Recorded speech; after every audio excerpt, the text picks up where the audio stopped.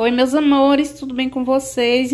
Iniciando mais um vídeo aqui para o canal. No vídeo de hoje eu vou estar tá ensinando para vocês fazer a batata palha igual aquela do supermercado aí na casa de vocês. Aqui eu já higienizei bem aqui as batatas, não precisa estar tá descascando, é só lavar bem limpa e secar. Para fazer aqui as batatas palha, eu vou estar tá fazendo aqui com esse ralador, que ele é 5 em 1. Isso aqui vocês compram em loja de utilidade para o lar Bem baratinho. Eu comprei isso aqui, paguei 3 reais. Para deixar as batatas bem sequinhas, aqui eu vou estar tá usando amendoim de milho.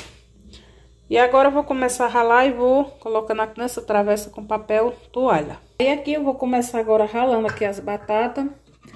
E a parte do ralador que eu vou estar tá usando para fazer batata palha é essa parte aqui. Aqui é bem simples de fazer. Aqui você vai pegar a batata, vai vir só empurrando aqui e ela vai já saindo no estilo de batata palha mesmo.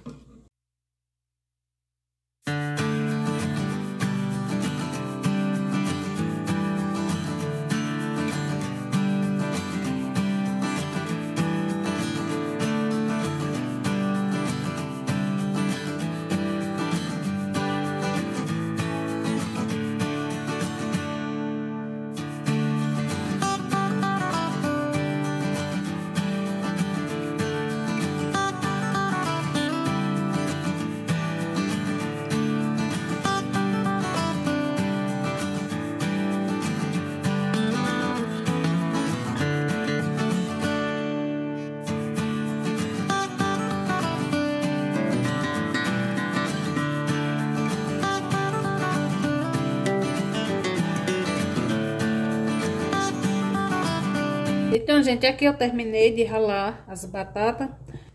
Aí aqui, rendeu desse tanto. Eu sequei bem aqui com, com papel toalha. E ficou assim. Ela não vai secar 100%, mas fica assim. Pra terminar de secar ela, agora eu vou colocar o amendoim de milho. Vou temperar com uma pitadinha de sal. E vou colocar um pouquinho de chimichurri, que ele é um tempero que já é completo, com orégano, com alho frito, com todos os temperos.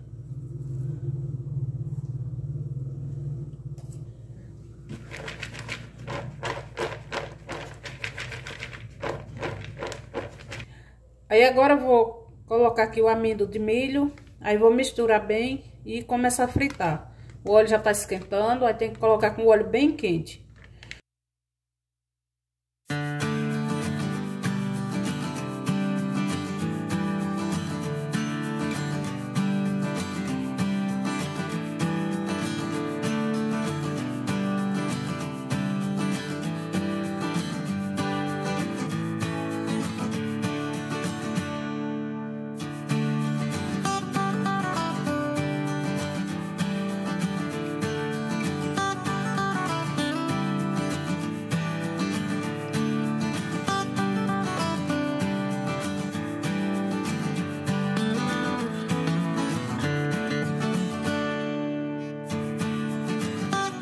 Terminei aqui de fritar as batatas palha e vim mostrar para vocês o resultado aqui, como é que ficou.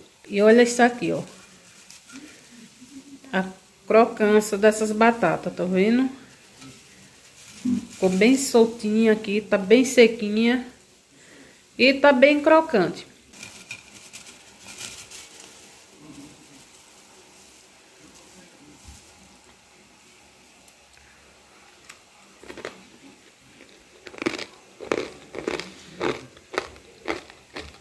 Aí aqui para conservar, eu vou colocar aqui nesse pote de vidro, tá bem sequinho. Vou colocar aqui um papel filme para vedar bem, não entrar nenhum vento. E o consumo tem que ser no máximo dois, três dias, ou de preferência fazer para consumir no mesmo dia, porque não tem nenhum conservante, então ela não vai conservar por muito tempo. Para fazer assim um fricassê, fazer alguma coisa que leve batata palha. Aí se não quiser comprar, e tiver batata em casa, dá para estar tá fazendo em casa mesmo.